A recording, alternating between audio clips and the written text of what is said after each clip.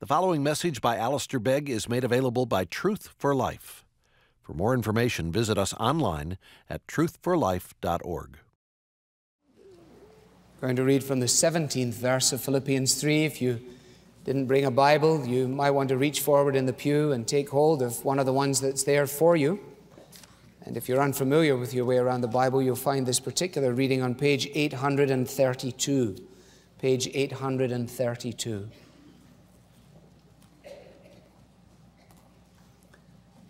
Follow along as I read from the 17th verse to the first verse of chapter 4. Join with others in following my example, brothers, and take note of those who live according to the pattern we gave you. For as I've often told you before, and now say again with tears, many live as enemies of the cross of Christ. Their destiny is destruction, their God is their stomach, and their glory is in their shame. Their mind is on earthly things. But our citizenship is in heaven, and we eagerly await a Savior from there, the Lord Jesus Christ, who, by the power that enables him to bring everything under his control, will transform our lowly bodies so that they will be like his glorious body. Therefore, my brothers, you whom I love and long for, my joy and crown, that is how you should stand firm in the Lord, dear friends. Father, as we thank you for this reading from your word, we pray that you will come to us in our need and be our teacher. That the Holy Spirit will take the things of the Bible, familiar to some of us and totally alien to others of us, and do what only you, O God, can do bring them with express purpose to the circumstances of our lives, since they are known to you. And you are the one before whom we cannot hide and from whom we need not run. Speak then in the stillness while we wait upon you for Jesus' sake. Amen. On this July 4th weekend, it's surely appropriate that we would find ourselves focusing on, focusing on these particular verses. And that not by human contrivance in any way. Those of you who are regular with us will know that we're simply going through uh, this brief study in Philippians. But it is interesting that we have the sentence there in verse 20, but our citizenship is in heaven. And there is no question that throughout the country today there will be many sermons preached that seek to combine the notions of uh, land and nation uh, with the issues of Christian living. And these will, in many cases, I'm sure, be very profitable, and it's certainly something that we could engage in. However, I want simply to continue with the exposition of the text, and I hope that you will realize the wisdom and benefit of that. Paul is here providing a dramatic contrast between his description in verses 18 and 19 and the description that then follows in verses 20 and 21. The contrast is between two groups. One, whom he describes as having as their destiny destruction.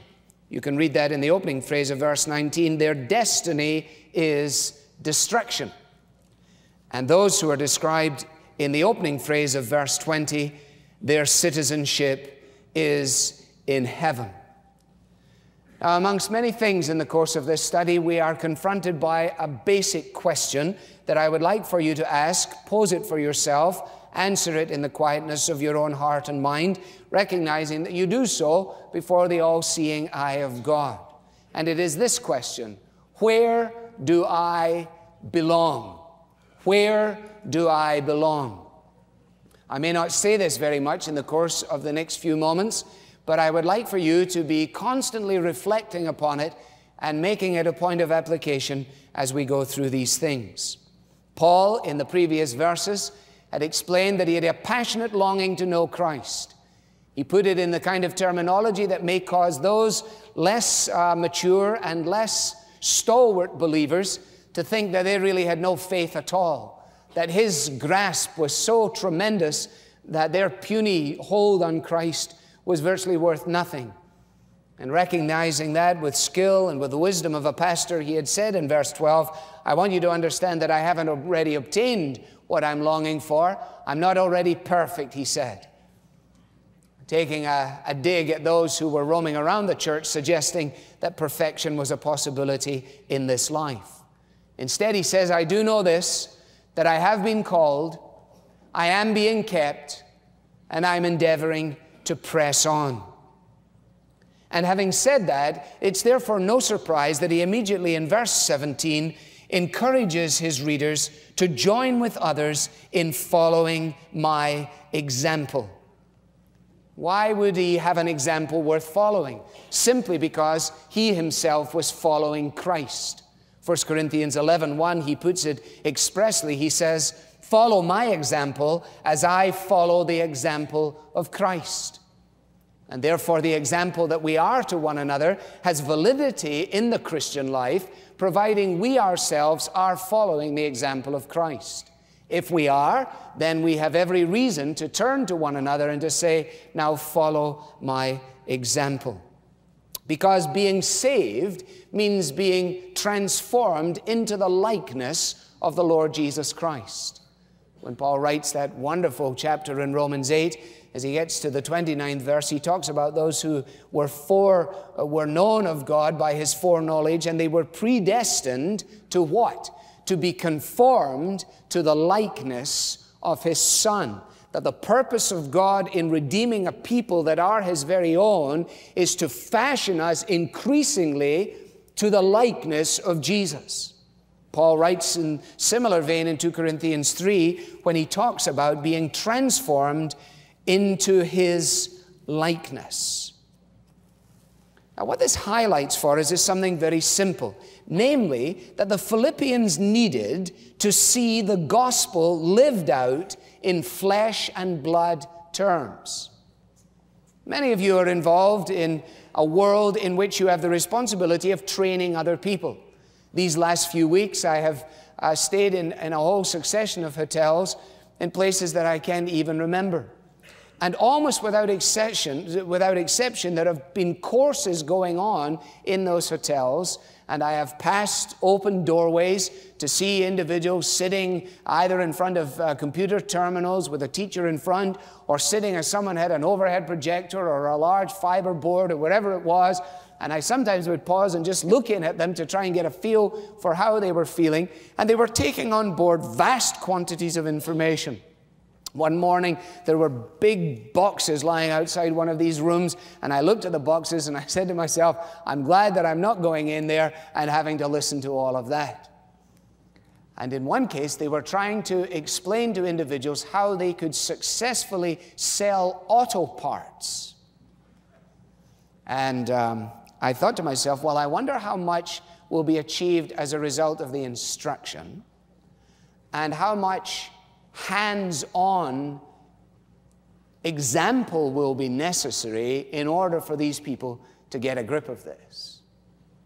Some of you have been trained or train or are training in the realm of medicine, for example, and there is a tremendous amount of book study of that, there is no question. There are charts and diagrams, there's chemistry and biology, there's a wee bit of physics, there's all kinds of things that have to be memorized the anatomy, physiology, all, all kinds of things. But most good doctors will tell you that it was at the point that they donned the white coat, it was on the occasion when they got by the elbow of the physician who had given them not simply the instruction which they had responded to in their minds, but who had established for them an example so that the way they, they take blood pressure even today is as a result of the example that was set. The way they give an injection is a result of that example. The way in which they make an incision as a surgeon is because of the way they learn by example at the hands of a tutor. Now, it is imperative that if we're going to see the gospel transferred into life changing impact in our generation, we do understand Christian doctrine.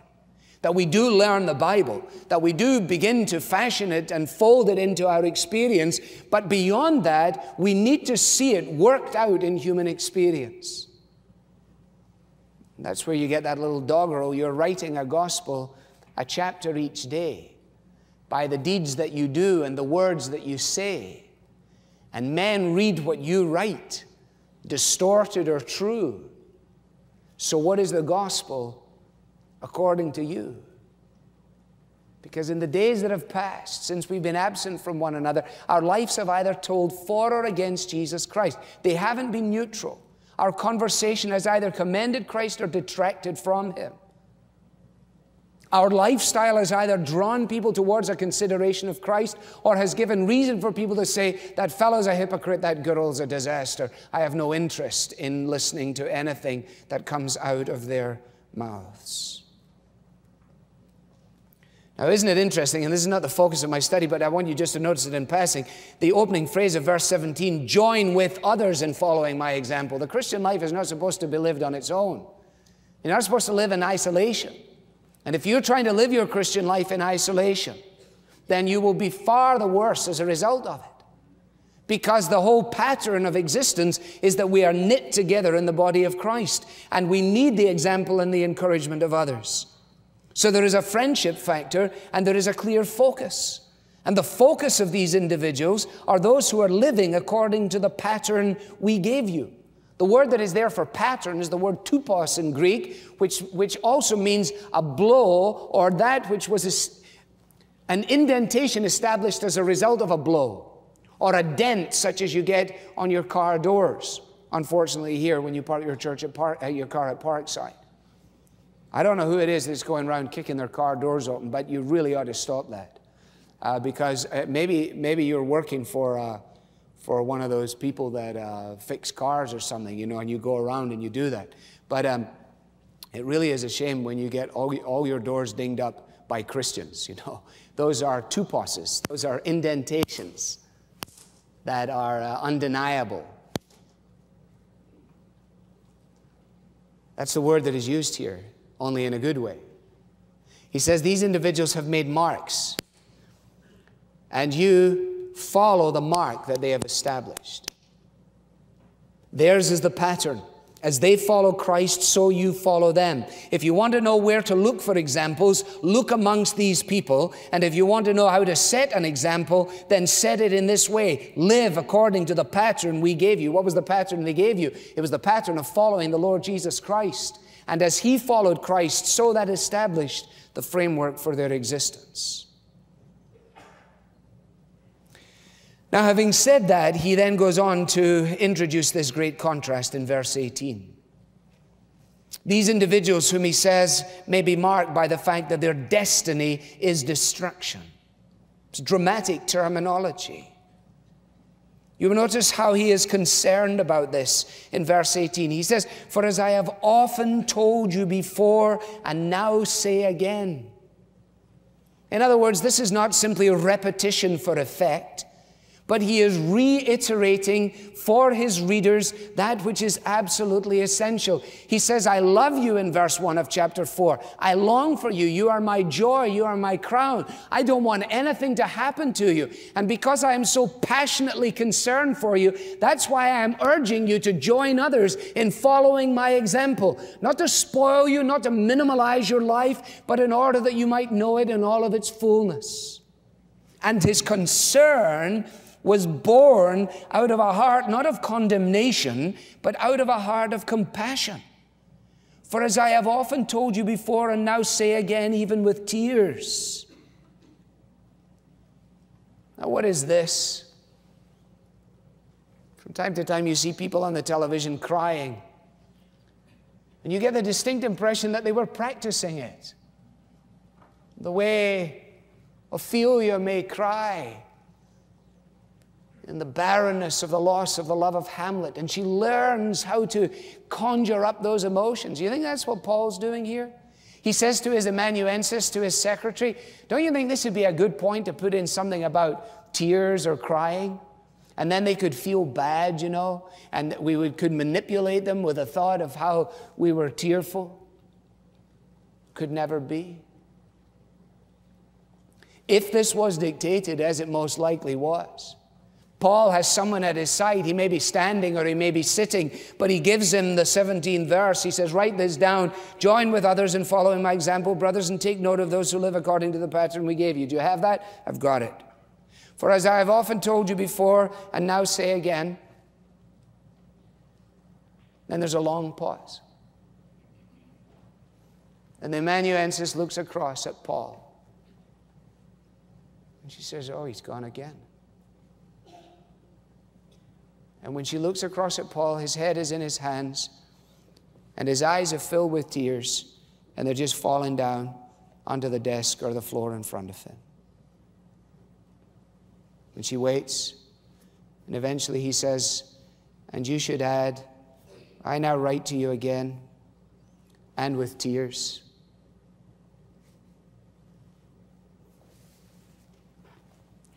You see, this is very, very important.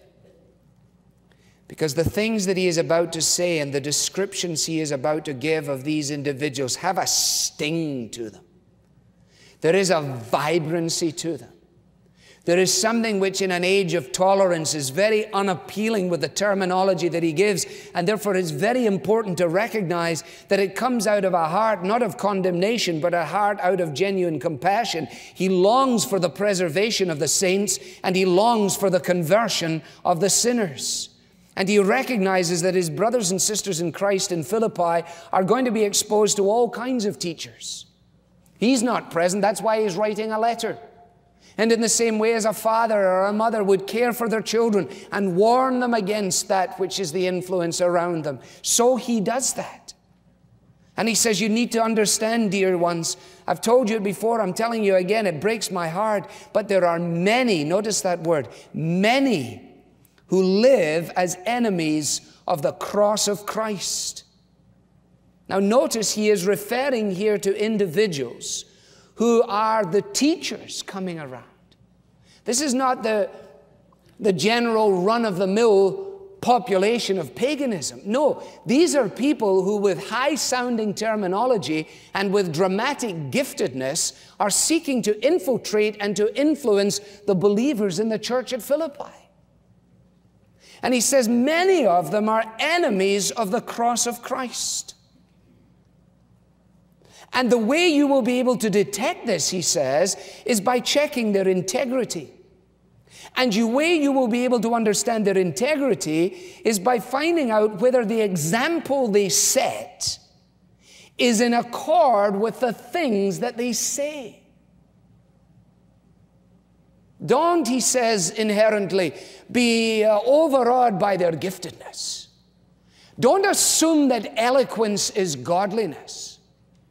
Don't assume that the capacity to do things, even miraculous things, even to cast out demons, is an evidence that the fact that these people are truly in Christ. He says, don't be hoodwinked by any of that.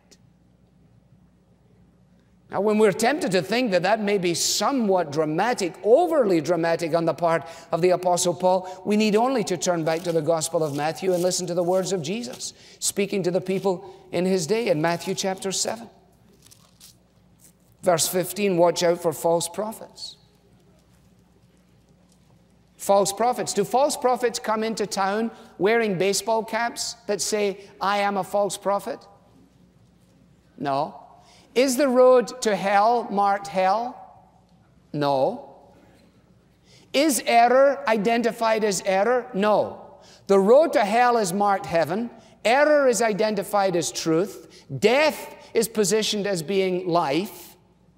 And false teachers look as close to the reality of the true so as to deceive all but the most perceptive. Watch out for false prophets, they come to you in sheep's clothes.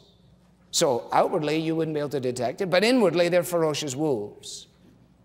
By their fruit you will recognize them, not by their gifts, not by their words, not by their wisdom, not by how dramatic they are, not by how influential they are, not by how many people come to the services or how many services there are, or whether they have a building or one building or two buildings or nine buildings. None of that stuff.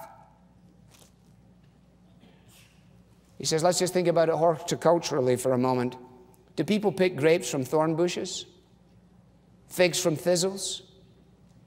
Likewise, every good tree bears good fruit. A bad tree bears bad fruit. A good tree can't bear bad fruit. A bad tree can't bear good fruit. Every tree that doesn't bear good fruit is cut down and thrown into the fire. People are going, I'm tracking with you all the way down the line. Jesus got you example. And people turn to one another, looking at one another knowingly, and say, You know what? That's why we chopped that tree down just last week. They look at one another and go, Got that. Then Jesus says, Here. Thus, by their fruit, you will recognize them. By their fruit, you will recognize them.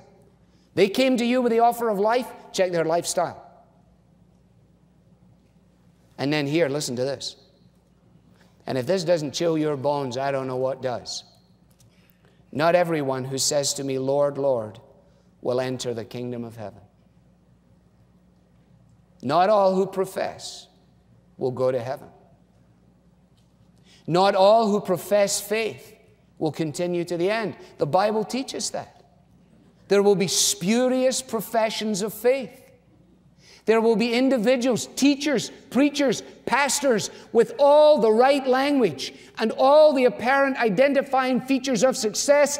And in the day when heaven is settled, they will not be there. That's why Paul says, It is such a passion in my life, he says, lest having preached to others, I myself should be a castaway lest having thought that I had built my ministry with gold and silver and precious jewels, I were to get to heaven and find that it was wood and it was hay and it was stubble. And I get in like a shipwrecked sailor with the seat of my pants on fire.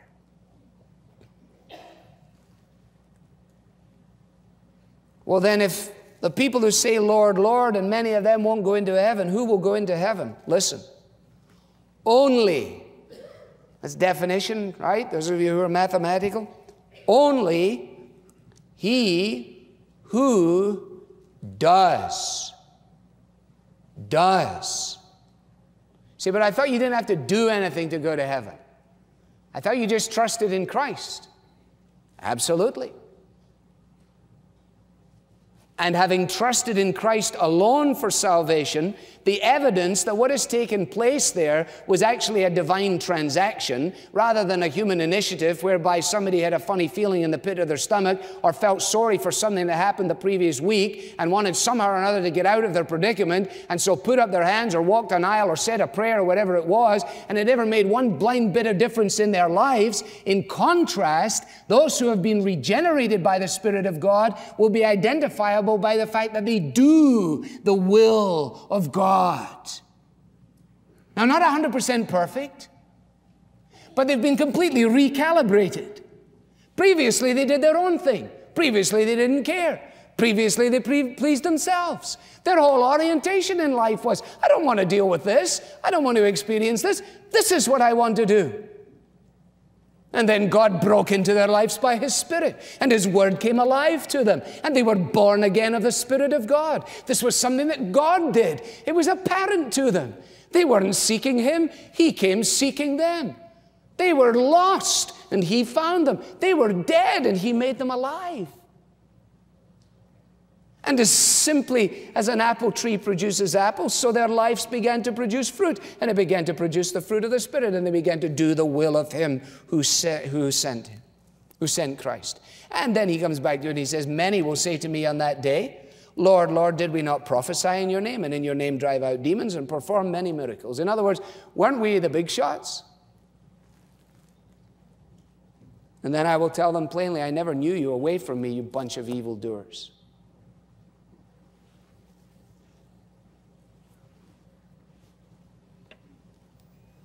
You see, Paul was far too sensible to assume that everyone who professed to be a teacher was faithful to Christ. And he was far too sensitive to address the issue without the deep feelings that he describes via his tears there in verse 18. Who are these people then, these enemies of the cross of Christ? Some commentators say that they must be different from the Judaistic legalizers. Because after all, the Judaizers were concerned about being very legalistic and doing everything properly. Whereas these individuals that, is, that are described by Paul appear to be at the very other end of the spectrum. One group is saying you must do this and you must do that, and this group over here, by their lives at least, are doing none of that.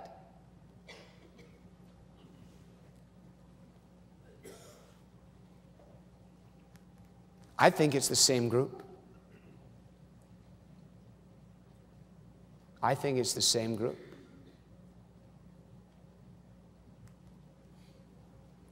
Legalism.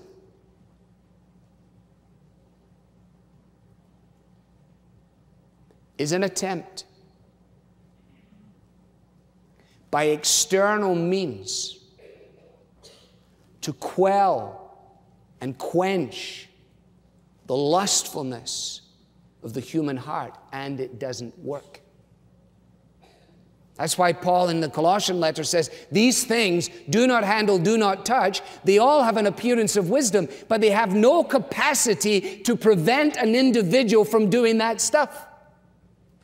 And that's why legalists often have such lustful hearts. How can individuals propound such things from the television and then be found out with, with, in these dreadful circumstances? telling all these people you must do this and you must do that and you must keep this and you must do that and you'll never be a proper Christian unless you do, do, do, do, do all those things. You get the feeling they must be preaching to themselves. It's the spirit of the elder brother in the parable of the prodigal son. Party time, the boy comes back. Older brother says he doesn't deserve a party. I deserve a party. I've been slaving around here. Servant says, Well, the party's on, come on in. Brother says, I'm not going in. Father comes out and says, Hey, what's up? Your brother came back. It's fabulous. Now, you remember earlier in the story, Luke had told how the boy took the stuff that was allotted to him and he went into a far country and he wasted his substance with riotous living. That's the kind of catch all phrase. He went away and he had a blast, he had a riot. He lost his money, he lost his self respect, he lost his friends, he lost the whole shooting match.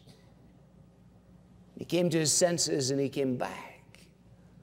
God's always there for the individual who will come to their senses. Always but you won't get a welcome from the elder brother. No, the elder brother says, when this son of yours who went away and wasted all your money with prostitutes. Who mentioned prostitutes? Where did that come from? It came out of his own dirty, legalistic mind. Because Pharisees will always condemn most vehemently the things that they struggle with most in their personal existence. You will never hear anybody uh, uh, ushering such condemnation of these things as is tied up in pornography on the internet because he is trying to exorcise his demons and he thinks if he shouts loudly enough about it and tells everybody else to stop it, that somehow or another he will vicariously be stopped and it will never happen. It doesn't work. And those individuals are enemies of the cross of Jesus Christ.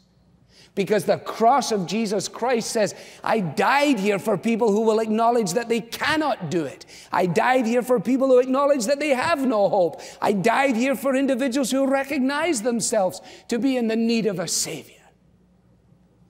But I didn't die here for smug, bombastic legalists who want to spend their lives explaining to everybody about the 50,000 rules they need to fulfill.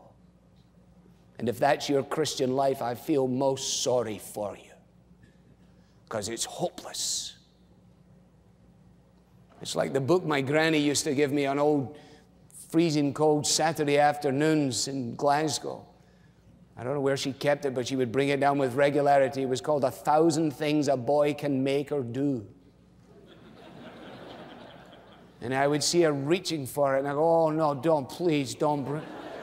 Do not bring it down again, please. I'd said something like, I'm bored or whatever. She, oh, I have an answer for that. Oh, yeah. Yeah, I know. I've seen it at least a thousand times. And I used to leaf through its pages. I couldn't find one jolly thing that I could either make or do, except maybe take the book and bang her over the head with it.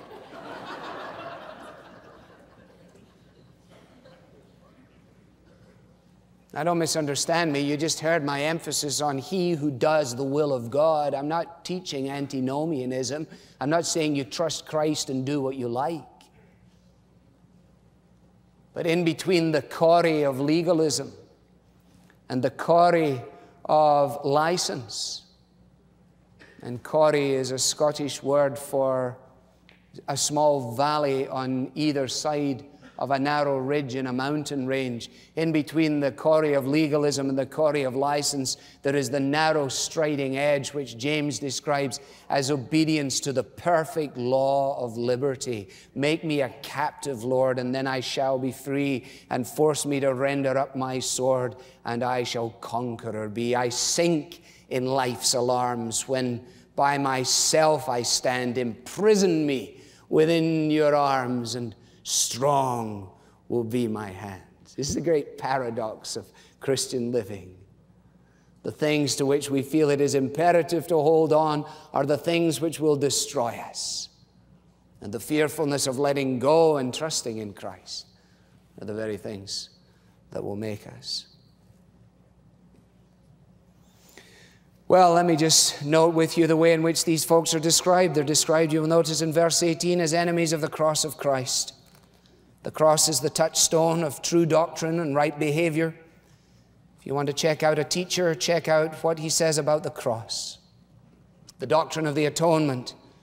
Does he, for example, say, as Schuller does, that in the cross you see how much God loves you and how wonderful a person you really are? And it's because God has fastened onto how wonderful you are that He has been prepared to be as dramatic as He has in the expression of His love. That's what he says about the cross, which turns on its very head what the Bible says namely, that the cross is not as a reward for how wonderful we are and how much potential we have. But the cross is there because of the depth of our human depravity and the extent of our predicament and the fact that we cannot unearth ourselves from the hopelessness of our human existence. You want to check a teacher out, check him on the cross. Also, their God is their stomach. What does this mean? It's a graphic picture. Imagine having your stomach as a God. You mean he worshiped his tummy? Well, the word can be used on a broader basis. I think J.B. Phillips has it perfectly when he says their God is their own appetite. Their God is their own appetite. In other words, instead of teaching and living out the doctrine of the cross, they live out their lives which are marked by self indulgence. And consequently, and thirdly, their glory is their shame. In other words, the things of which they should be ashamed, these things become the occasion of their boasting. And at the end of verse 19, their mind is on earthly things possessions, reputation, position this world is the limit of their horizon. And consequently, in the phrase that I've stepped over at the beginning of verse 19, their destiny is destruction. Their destiny is destruction. Again, back to Matthew chapter 7. Jesus says, Enter through the narrow gate, for wide is the gate and broad is the road that leads to destruction, and many enter through it. But small is the gate and narrow the road that leads to life, and only a few find it. Ask yourself the question where do I belong? Where do I belong? If it's very important for you always to be with the majority, and that's how you vote, if it's very important for you always to be with the majority, and that's how you establish friendships, it's important for you always to be with a crowd and to go with the flow, then the chances are you're absolutely on the wrong street. So Jesus says, Enter through the narrow gate, it leads to life. There's only a few find it, and the few that find it are described not as those whose destiny is destruction, but as those whose citizenship is in heaven. What a wonderful picture this is. Now, I've been enjoying the World Cup. I hope a few of you have as well. I haven't enjoyed any game more than yesterday afternoon when Croatia beat Germany. Not because I wanted Germany to be beaten, but because I wanted Croatia to win. And I couldn't have Croatia win without Germany getting beaten, so you know they had to be beaten. But here in the last World Cup, there was no Croatia. So they re-emerge as Croatia. They walk onto the, the world stage of soccer and they play their hearts out. And if I'd known the national anthem of Croatia last yesterday afternoon, I would have jumped up on a couch and I would have sung it out loud. And I'm not even Croatian. I was so pumped and vicariously, I, I drew energy from those guys. Many of them in their Catholicism looking up into heaven, others of them crossing themselves in a posture of prayer, lying down on the grass, kissing and smothering one another. And I said, Oh, I'd love to be a Croatian right now. It seems so good. Give me a bite of that.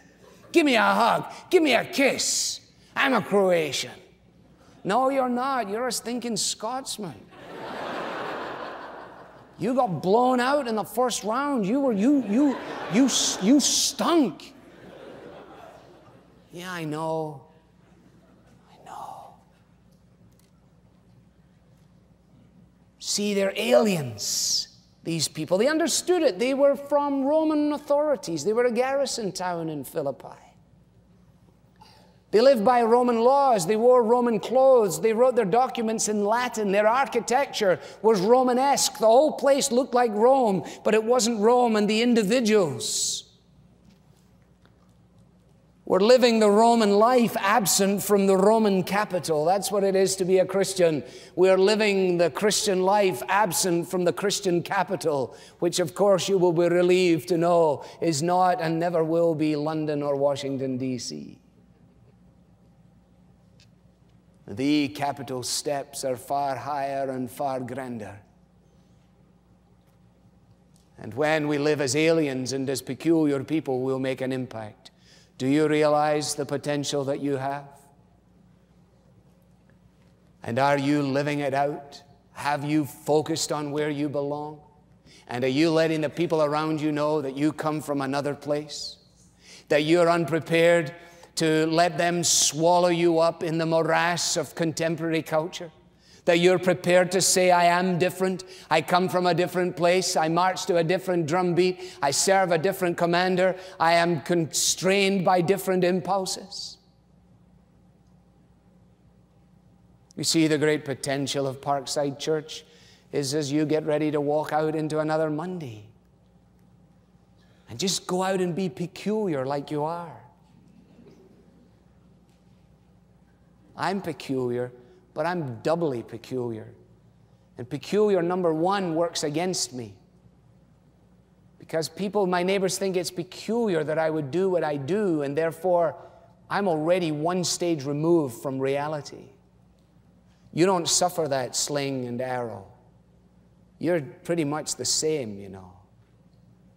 So you can do a far better job of being peculiar. And if your citizenship is in heaven, you won't have to work at it. Because people will say, hey, I can tell by the way you walk that you got soul, baby. I can tell by the way you talk that something has happened to you. See how different this is?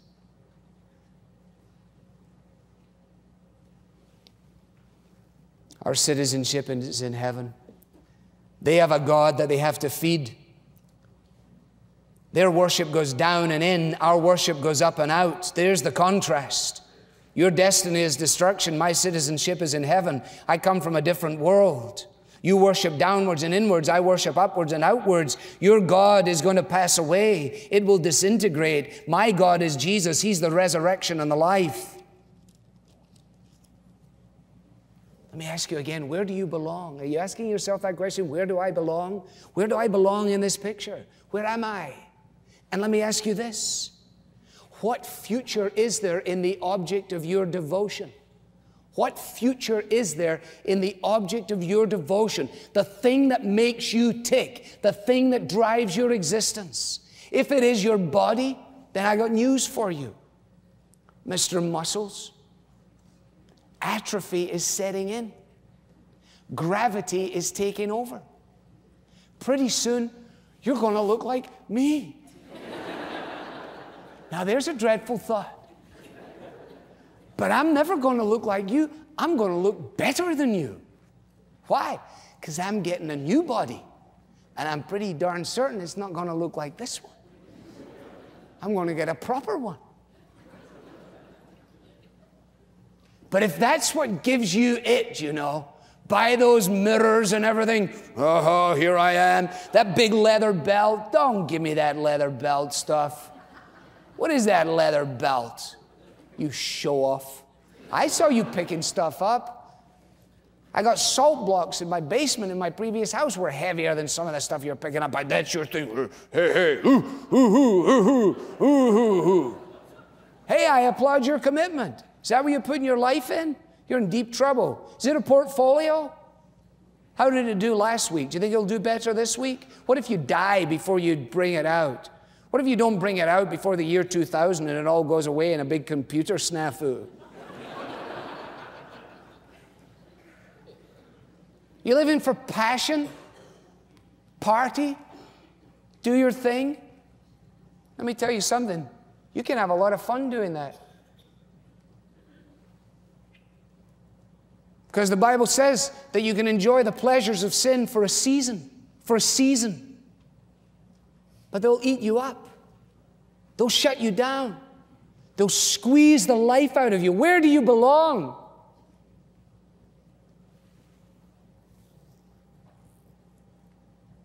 What are you living for?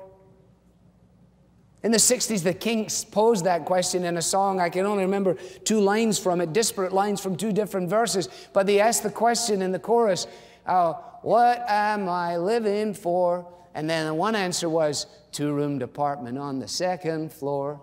And then in the other verse that I couldn't remember the rest of, it said, What am I living for? A pint of bitter and the girl next door. In other words, beer and women. Watch the World Cup. Watch the commercials for Budweiser. Oh, yeah, they've got some nice ones in there, the cozy ones with the Clydesdale horses. Nice little horse. They got one horse winking to the other horse, totally bogus.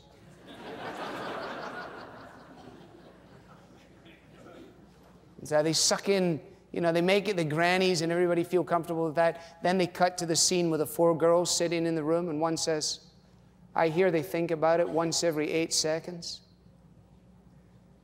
And the four guys are looking over their shoulder. So complete titillation in recognition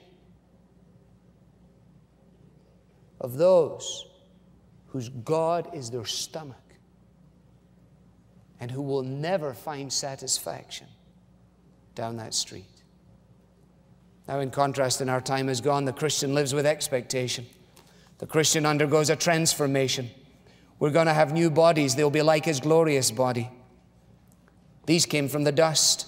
Those will be heavenly bodies. These are weakened by sin, by desire. They're subject to breakdown, to disintegration. But we're going to get a whole new deal. And then he applies it, verse 1 of chapter 4. Therefore, he says, In light of this, let me tell you what to do.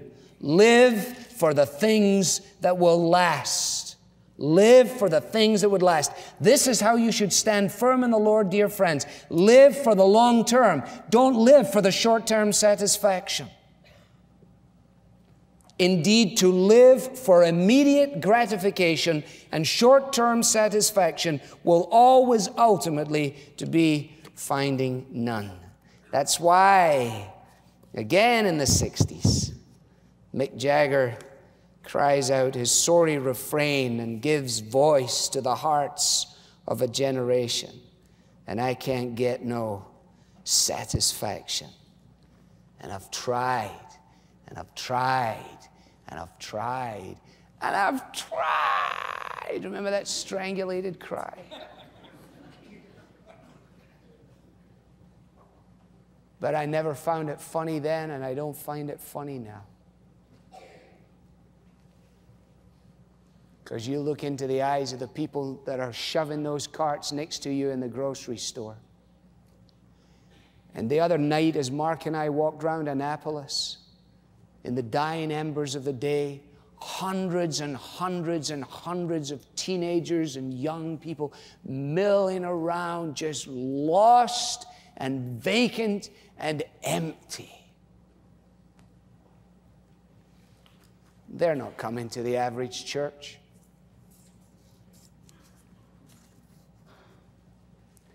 There's not a thing that we could dream up to do that would make it appear likely that they should come for any of those kids. I don't blame them for five seconds. I wouldn't come either. But you know what? Maybe if you were my friend and I discovered that you had a citizenship in heaven and that you served a living God and that you were looking forward to a day when your life would be suddenly transformed and changed, then you know what? I might just snuggle up close to you and ask you to give me a reason, give me an answer for the hope that you have. These are urgent and pressing times for the church in general and for our church specifically. The impact of the gospel in the city of Cleveland. Under God is directly related to your willingness to be peculiar.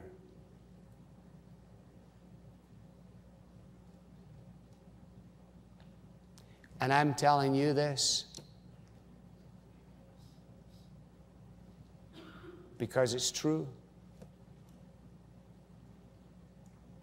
Because Christ will return.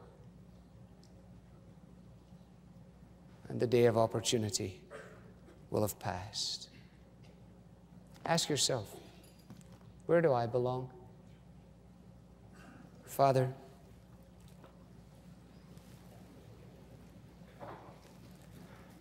Out of all of these words, speak into our lives, I pray, as a church, as individuals.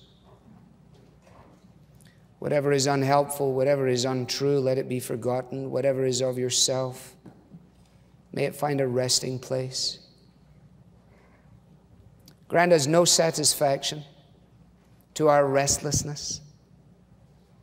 Save the satisfaction which comes from finding, as Augustine said, our rest in you. As we move around under the influence of those who are the enemies of the cross, whose God is their stomach, whose minds are in earthly things, whose destiny is destruction. Save us from a spirit of condemnation. Grant to us a spirit of compassion, genuine concern. Grant the fact that we realize the wonder of our citizenship being in heaven and of awaiting a Savior from there, even the Lord Jesus Christ, that it wouldn't make us smug, but it make us sensitive, sensible, so that we might live to see unbelieving people become committed followers of Jesus Christ, in whose name we pray. Amen. This message was brought to you from Truth for Life, where the learning is for living. To learn more about Truth for Life with Alistair Begg, visit us online at truthforlife.org.